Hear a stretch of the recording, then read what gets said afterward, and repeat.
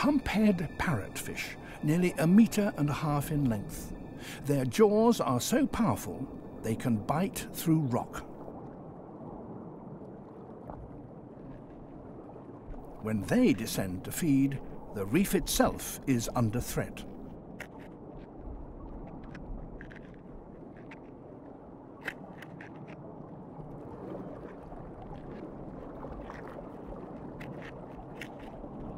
They are indiscriminate feeders, taking both rock and coral alike in their quest for algae.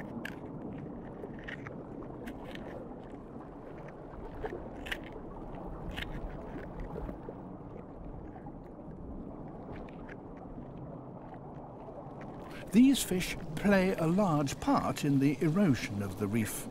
The rock and coral they swallow emerges later as a fine sand. On a single reef they can produce tons of it every year.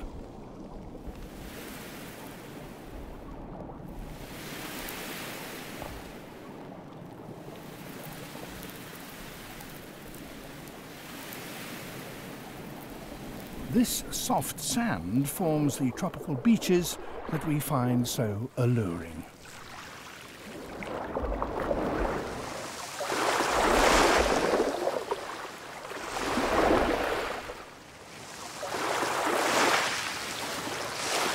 Over time, the sand builds up to form an island, which is then colonized by animals and plants.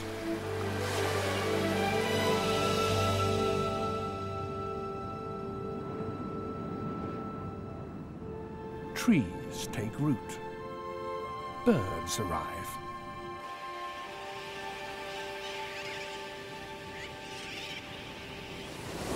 The guano from thousands of terns which have chosen to nest here enriches the sandy soil, which then can support more plants.